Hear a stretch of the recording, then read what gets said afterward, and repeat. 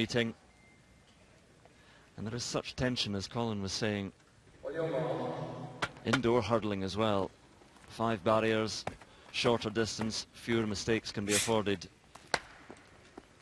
And Aries Merritt, a man who has won the Olympic title, world indoor title,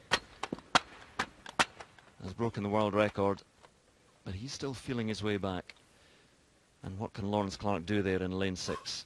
The final of the men's 60 metres hurdles.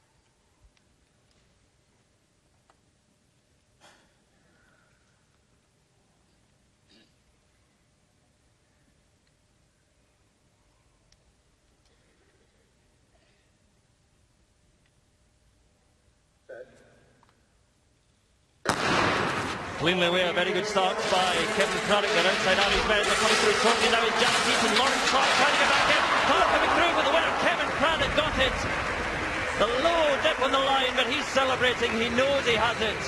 He was out so quickly. And almost sheer willpower carrying him to the line there as others were bearing down on him. Jarret Eaton, Lawrence Clarke